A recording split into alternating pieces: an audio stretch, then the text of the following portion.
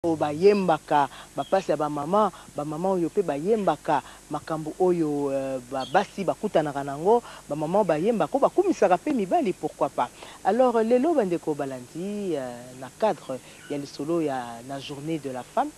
DJ Nostalgie eko zonga susu ko solola na maman Vongaye. Maman Vongaye aza susu mutu penza oyo. Toko presenter bino te aza nani aza nani po Djidji Nostalgie esila penza ko yamba ye na kati ya emission na biso abetela biso lisolo ya vie na ye lelo toko sepela lisusu ko yamba ye na emission na biso non pas seulement po to beta lisolo ya vonga ye na musique mais surtout en tant que femme artiste asala ya musique chanteuse mais ako beta biso sikoyo masolo na ye toko solola na tina ya ba maman maman vonga ye mbote. Mbote maman Irène. Boni malamu? Malamu, napesi yo nao bonne fete ya le 8 mars. Merci, nga pe nazongisi yo lokolo ya susu, bonne fete. Merci, merci maman Irène. Lelo tosepeli kozongela yo lisusu po ba telespectateurs na biso pe mingi batunaka yo tuna po basepela po mingi bakanisa pe que ozalaka lisusu te po esala penza mikolo ebele oza koleka susu te lelo na journee ya biso ya fete ya ba maman tosepeli ko benga vonga ye parce que vonga ye aza parmi ba artiste musiciens oyo ba marqua musique congolaise oyo penza ba banda kala pe ba kutana na makambu ebele cause vonga ye aza maman alors mama ako betela biso masolo na journee ya ba mama mama vonga ye le 8 mars yo ezo lobela yo penza nini? Le 8 mars ezali journee moko oyo biso ba mama mokili mobimba to sepelaka solo mama Irène. Ezali journee moko omoni eloko esepelisaka nga mingi ezalaka ndenge na ndenge tomonaka ti muana oyo atamboli nanu te muana six mois quatre mois bazo latisa ye maputa azo ngoloma na liputa vraiment okotala ba jeune fille na biso nioso na kati ya Kinshasa na kati ya partout meme na ba na ba province na biso bango nioso bakotaka na maputa Surtout tango ba defilaka nde esika na nayokaka elengi mingi eza journee moko oyo ezali pe ba papa pe ba sala biso pe ba maman ba cadeau puisque ezali journee ya biso ba maman to toko sepela elongo na maman presidente na biso olive kabila. Euh oui maman vunga ye na yoki yo ndenge olobi euh mokolo ya le huit mars tomonaka batu ba sepelaka ba bana. A partir kutu ya ba quatre ans, trois ans, quatre ans, na donc wana na ecole maternelle ba ko lata maputa. Donc quelque part eza fete penza solo eza pona lokumu ya ba maman. Mais to loba na likambo yango ya ya maputa yango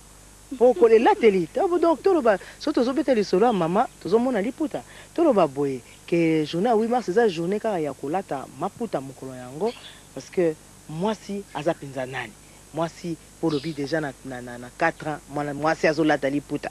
donc mwasi penza aza nani? Mwasi azali ekelamu ya Nzambe, mwasi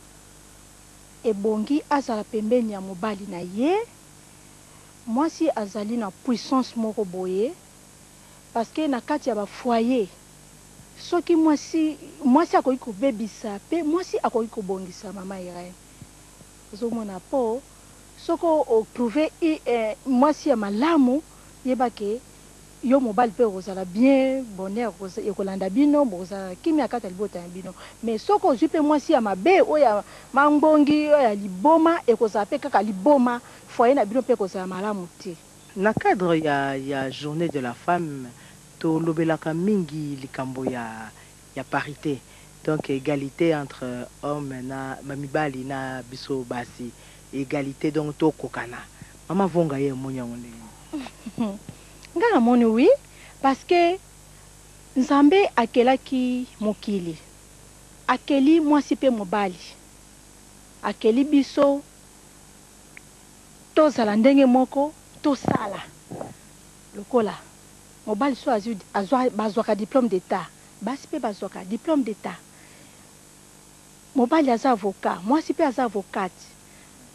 na ba branche nionso muasi azali nde nakoki koloba oui mabe eza te mabe eza te chauffeur muasi pe aza chauffeur hotellerie muasi pe azali na ba branche nionso muasi azali c'est à dire muasi azopesa Eeh mua ba un azo pesa ba un plus mingi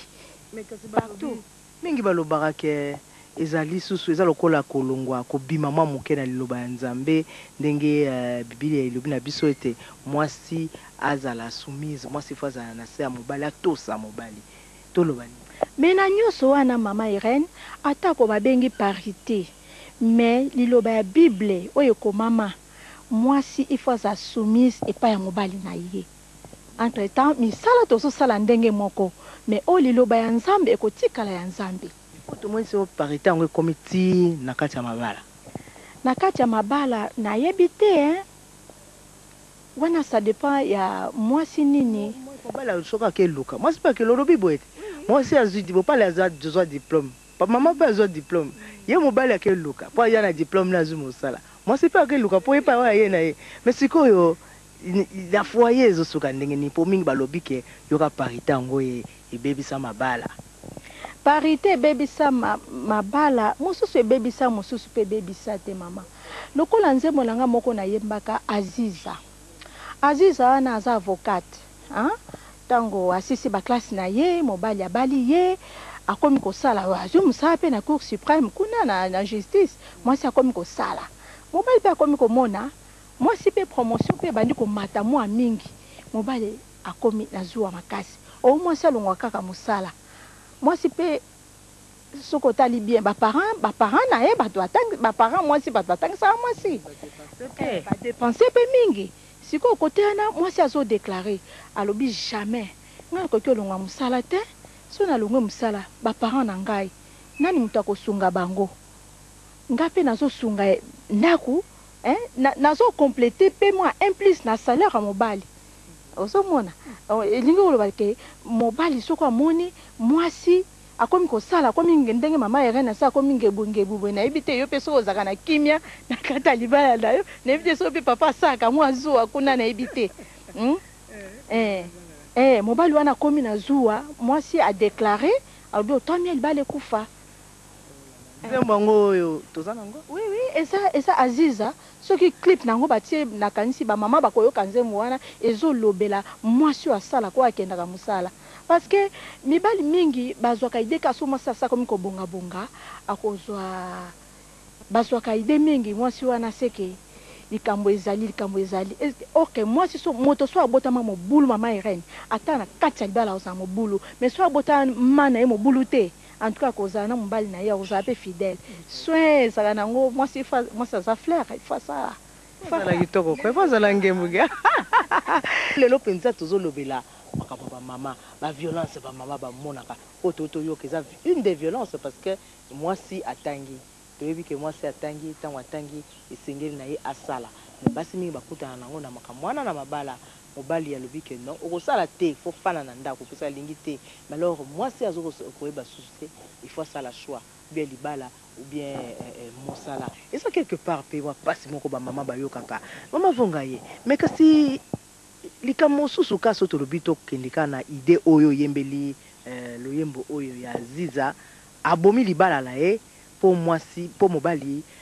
alingi mosala na ye te a prefere afana na ye na mosala po a a evoluer na vie na ye ke afanda na libala mais quelque part pe lelo penza toza komona lokola libala ekomi kosila mwa valeur wana po kala balobaki ba loba na biso ke lokumu ya mwasi ndaku ya mobali lokumu ya mwasi nde eza liba na libala mais lelo basi lelo mingi surtout boyo ba tanga ndenge olobi ke mwasi aza na diplome na ye mobali pe aza na diplome na ye oyo aza na ba diplome ba oyo ya ba diplome mingi lelo bakoma ko preferer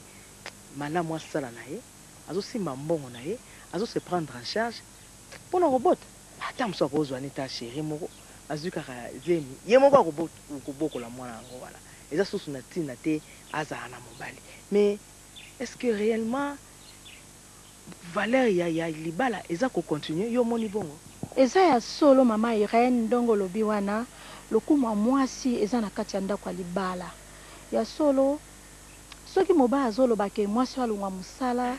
po amoni mwasi ndenge azo mata ou pona zuwa nga amoni ke mama Irene eza likambo ya comprehension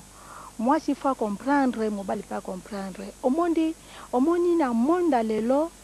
eh tokomi ke il faut mwasi asala mobali asala meme na Europe Ezaka bongo eza makambo ya kala yango ekiteli biso na Afrique muasi asala mobali asala cote kuna cote ya papa soki mua ba kobenga bana na classe mbongo minerva ekoki te cote na ngai mama na kobimisa ou bien mama soki ata azosala na bureau te ata koteka ya pamba atekaka ata pilipili ata matungulu ba contribuaka toujours pembeni ya papa alors eza problème ya comprehension kaka ba papa na biso ba comprendre biso Basi oyo tosalaka meme biso ba femme artiste artiste eza eza meme chose hein ba comprendre biso po mingi hein te mingi bakanisaka biso tokoki kofanda na kati na kati ya ndaku ya libala te femme artiste akofanda na kati ya ndaku ya libala ndenge nini akofanda ndenge nini bamonaka kaka toza ba ndumba or que eza ndenge wana te eza selon bizaleli ya moto na moto c'est ça. Donc okutanaka pe na ba pasi ya ndenge wana, bilobela,